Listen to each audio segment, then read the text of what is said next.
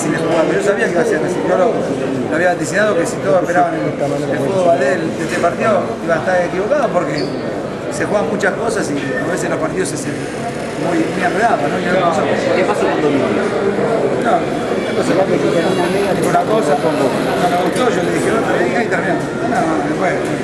Eh, me expulsó a mí, porque creo que lo expulsó al media también, porque vino hasta el banco, yo no lo vi. Pero bueno, si vamos a la lógica, tiene que echar al jugador, porque el jugador empieza la, la gresca de la cancha, pero no, son cosas del fútbol. ¿Salió como lo pensaste, Ricardo? Sí, sí.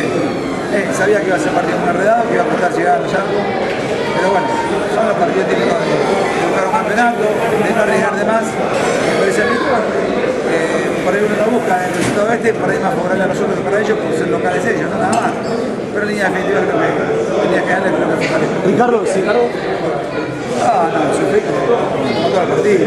Nada más que un partido especial este, pero bueno, costó mucho porque aparte puso muchos, muchos grandotes en el fondo, se cabecearon todos bien, pero lo pudimos controlar y después creo que en las últimas jugadas creo que estaba, quedó mejor parado que en los últimos 15 minutos, creo que quedó, mejor parado. Pero no se dio y, y a seguir luchando por todo el resto del campeonato. Ricardo, Si, si bien gente- cortan una racha importante de triunfos en fila, ¿cuánto vale para Quilmes el hecho de que no se le empiecen a despegar, por ejemplo, River ahí arriba, mantenerse ahí hoy? Es importante.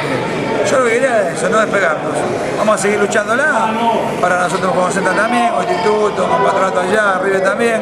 Y ahora empieza un dame que estoy entre todos. Pero bueno, es importante que, que no perdemos la- el hilo del campeonato. ¿no? Ricardo, recién eh, Almeida decía que en conferencia de prensa que no se vio el Quilmes que se venía viendo de, de los últimos partidos. ¿Qué opinión tenés? Y puede ser, puede ser. No, no.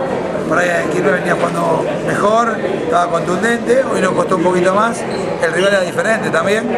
Pero bueno, River en su cancha también pudo haber hecho un poco más y no lo dejamos. Vos tenés que pensar eso también, que River juega también.